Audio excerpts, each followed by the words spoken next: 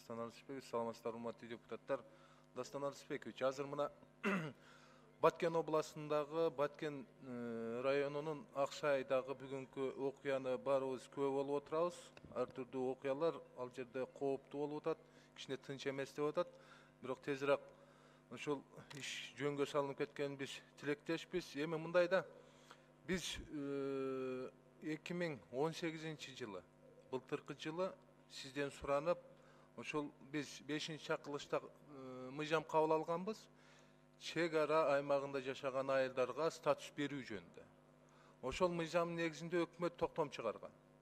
Өкмөт ошол токтомдо чек ара аймагында жашаган айылдарга статусту берип тизмелерин аныкташ керек эле. Ал тизмелер бар. Ошону менен эле бирге ошол токтомдун негизинде бюджеттен акча каражат жылыга каралат да. Ошол бюджеттен канча акча каражаттары каралды.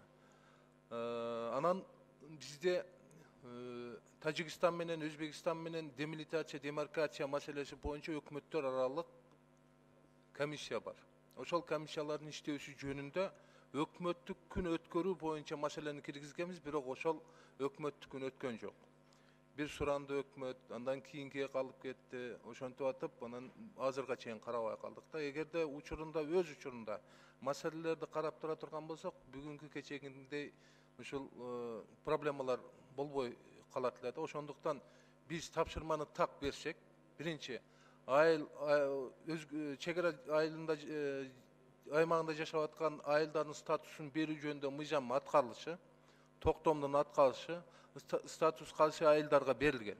Экинчи маселе ушул демилитация демаркация боюнча өкмөттөр аралык комиссия канча жолу отурум өттү кандай жумуштар кетип атат качан демилитациялар бүтөт азыр мисалы үчүн өзбекстан менен жетимиш беш пайыз чек арабызды демилитация кылганбыз демаркация маселелери качан башталат ошол боюнча так маалымат берип койсо ошондуктан дастан арысбекович бул маселеге биз өкмөттүк күн катары киргизели муну бир күн талкуулайлы жогорку кеңеште ачык эшиктеби же болбосо эгерде депутаттар чечсе жабык эшигиндеби биз жакшыраак талкуулап койбосок болбойт чек ара маселеси дайыма жаз келгенде жайлоо ачылганда ушу жайытка элдер көчө баштаганда дайыма проблема болуп чыгып келет да. Ошондуктан сизден сураныч өкмөткө премьер министрге катуураак кайрылсаңыз ушул маселеге өзгөчө көңүл буруп жакшы даярдык менен биз койгон маселелердин баарын чечүүгө аракет кылып суроолорубузга жооп бергенге ушул келе берсе. Рахмат.